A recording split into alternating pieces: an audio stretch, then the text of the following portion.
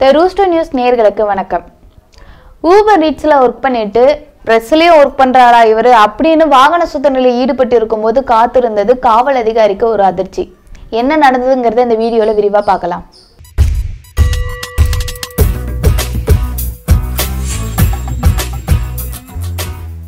பெரும்பாலான நகரங்களில் திரும்புகிற இடம் எல்லாம் பத்திரிகையாளர்கள் இருக்காங்களோ இல்லையோ ஆனால் திரும்புகிற இடம் எல்லாம் பிரஸ்ல ஓட்டின அந்த வாகனத்தை பயன்படுத்தக்கூடிய நபர்கள் நிறைய இருந்துகிட்டே இருக்காங்க. இவங்க எல்லாருமே உண்மையிலேயே பிரஸ்ல தான் ஒர்க் பண்றாங்களான்னு பார்த்தா கண்டிப்பா இருக்க மாட்டாங்க. அவங்க வேற ஏதாவது ஒரு வேலை செஞ்சுட்டு இருப்பாங்க இல்ல படிச்சுட்டு இருப்பாங்க இவங்க எல்லாமே தன்னோட வாகனத்துல பிரஸ்னு ஒட்டின ஸ்டிக்கரை பயன்படுத்தி போக்குவரத்து காவல் அதிகாரி கிட்ட தப்பிக்கிறதுக்காக இப்படி ஒரு வழியை வந்து கையாண்டு வந்துட்டு இருக்கிறாங்க குறிப்பா சென்னை எடுத்துக்கிட்டா சென்னை ஒரு மிகப்பெரிய ஒரு நகரம்னே சொல்லணும். அங்க நிறைய பேர் இருப்பாங்க. படிக்கிற பசங்க இல்ல தனியார் நிறுவனத்துல பணிபுரியிற ஒரு சில பேர் வந்து அவங்களோட வேலை அவசரத்துக்காக ரொம்ப ஃபாஸ்டா போயிட்டே இருப்பாங்க. அப்படி போயிட்டு இருக்கும்போது போக்குவரத்து விதிமீறல் ஈடுபடக்கூடிய ஒரு அவசியம் வந்து அவங்களுக்கு ஏற்பட்டுரும்.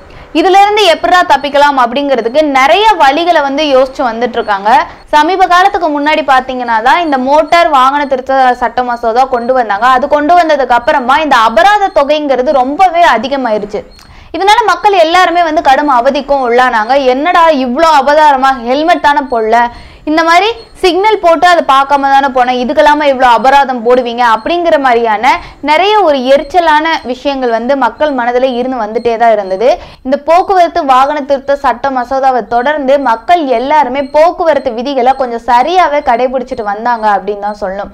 இருந்தாலும் ஒரு சில நபர்கள் வந்து இந்த அபராதமும் கட்டக்கூடாது நம்ம வந்து விதிகளையும் ஃபாலோ பண்ணக்கூடாது அப்படிங்கிற மாதிரியான ஒரு மனப்பான்மையில தான் இருந்து வந்திருக்காங்க.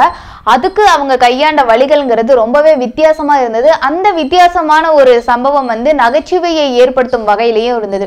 கொஞ்ச நாளைக்கு முன்னாடி சமூக வலைதளத்துல ஒரு வீடியோ ஒன்று வைரலா பரவிட்டு இருந்தது அந்த வீடியோல என்ன இருக்குன்னு பார்த்தா ஹெல்மெட் அணியாம வந்துட்டு இருந்தவங்களை வந்து போக்குவரத்து காவல்துறை அதிகாரிகள் எல்லாருமே பிடிச்சு வச்சு இந்த மாதிரி ஏன் ஹெல்மெட் அணியாம வந்துட்டு இருக்கீங்கன்னு ஒரு சில அட்வைஸ்லாம் கொடுத்துட்டு அபராத தொகையை கட்டுங்க அப்படின்னு வந்து கேட்டுட்டு இருப்பாங்க அப்போ அந்த பகுதியில வந்த இருசக்கர வாகனத்துல வந்த நபர்கள் எல்லாருமே வந்து ஹெல்மெட்டை போடாம வண்டி ஓட்டினா தானே தப்பு நாங்க ஓட்டவே இல்லை நாங்க தள்ளிட்டு வரோம்னு சொல்லிட்டு அந்த வழியாக வந்து எல்லாருமே வந்து அவங்களோட இருசக்கர வாகனத்தை தள்ளிட்டு நடந்து வந்துட்டு இருப்பாங்க இந்த வீடியோ சமூக வலைதளங்கள்ல வைரல் ஆச்சு. இது அனைவருக்கும் ஒரு நகைச்சுவையை ஏற்படுத்துச்சுன்னே சொல்லணும். இந்த மாதிரி ஒரு புறம் ஒரு வழியை கண்டுபிடிச்சாலும் கூட இப்போ ஒரு வழி என்ன அவங்க கண்டுபிடிச்சிருக்காங்கன்னா தன்னோட வாகனத்துல பிரஸ் அப்படின்னு ஒரு அடையாளத்தை நம்ம ஒட்டிக்கிட்டா நம்மளை வந்து காவல்துறை அதிகாரிகள் பிடிக்க மாட்டாங்க. நம்ம மேல வந்து ஒரு பயம் இருக்கும். அப்படிங்கிற ஒரு மனப்பான்மை மக்கள் மத்தியில பரவலா வந்துட்டு இருக்கு இந்த மாதிரியான நிறைய நபர்கள் ஏதாவது ஒரு பத்திரிகையில வேலை செய்யற மாதிரியான அடையாள அட்டையை வந்து அவங்க போலியான முறையில தயாரித்து வச்சுக்கிறாங்க. அதுக்கேற்ற மாதிரி அவங்களோட இருசக்கர வாகனமா இருக்கட்டும் இல்ல நான்கு சக்கர வாகனமா இருக்கட்டும் அவங்க வாகனத்துல பிரஸ் அப்படிங்கிற ஒரு போலியான ஸ்டிக்கரையும் ஒட்டி வச்சுக்கிறாங்க. இதன் மூலமா நம்ம வந்து போக்குவரத்து விதிமீறல்களில் ஈடுபட்டுட்டா கூட காவல் அதிகாரிகள் நம்மளை வந்து பிடிக்க மாட்டாங்க அப்படிங்கிற ஒரு தப்பு கணக்கு அவங்களுக்குள்ள இருந்து வந்திருக்கு.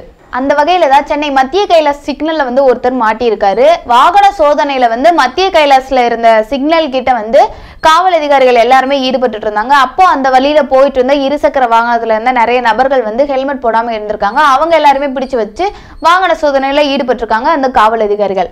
அந்த வகையில தான் அந்த வழியில போயிட்டு இருந்த ஊபர் ஈட்ஸ் அப்படின்னு டிஷர்ட் போட்டுட்டு இருந்த ஒரு நபரை பிடிச்சு ஒரு சில போக்குவரத்து விதிமீறல்கள் காரணத்தின் அடிப்படையில அவர்கிட்ட வந்து வாகன சோதனையில ஈடுபட்டிருக்காங்க காவல்துறை அதிகாரிகள் எல்லாருமே. அவர்கிட்ட இந்த மாதிரி டாக்குமெண்ட்ஸ் கொடுங்க உங்களோட அடையாளத்தை காட்டுங்க அப்படின்னு கேட்டிருக்காங்க. அப்போ அவர்கிட்ட எதுவுமே இல்லை. அப்போ அவர் என்ன சொல்றாருன்னா நான் இந்த மாதிரி ஒரு பத்திரிகை துறையில வேலை செய்கிறேன் அப்படின்னு சொல்லிட்டு ஒரு பிரபலமான நிறுவனத்தோட பேரை சொல்லியிருக்காரு.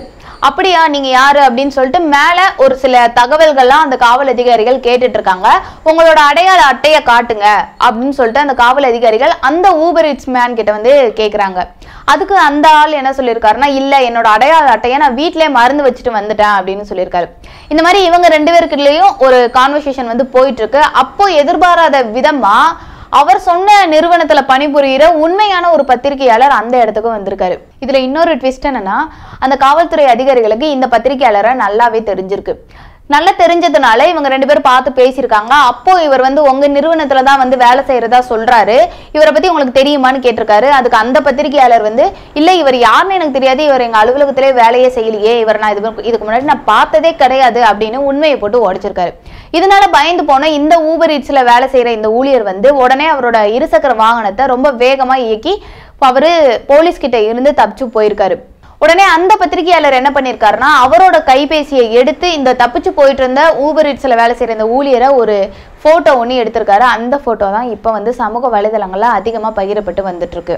இவர் மட்டும் இல்லை இவர் மாதிரி நிறைய பேர் ப்ரெஸ் அப்படிங்கிற ஒரு ஸ்டிக்கரை வெறுமனே ஒட்டிக்கிட்டு அவங்க வந்து காவல்துறை அதிகாரிகள் கிட்ட இருந்து தப்பிக்கிறதுக்காக இது போன்ற நிறைய வழிகளை யூஸ் பண்ணி வந்துட்டு இருக்காங்க வெறும் ப்ரெஸ் அப்படிங்கிற ஸ்டிக்கர் மட்டும் கிடையாது. லாயர் அரசு அதிகாரிகள் போன்ற பல ஸ்டிக்கர்களை ஒட்டிக்கிட்டு இந்த மாதிரி போக்குவரத்துல வந்து வாகன சோதனையில ஈடுபடுற காவல் அதிகாரிகள் கிட்ட இருந்து தப்பிக்கிறதுக்காக இந்த மாதிரியான ஒரு சில யுக்திகள் எல்லாம் கையாண்டு வந்துட்டு இருக்காங்க போலியான ID card Aadhaar card ATM card போன்று நிறைய பிரச்சனைகள் நம்ம நாட்டில் இருந்து வந்துட்டு இருந்தாலும் கூட இது ஒரு வித்தியாசமான பிரச்சனையாக தான் இருந்து வந்துட்டு இருக்கு.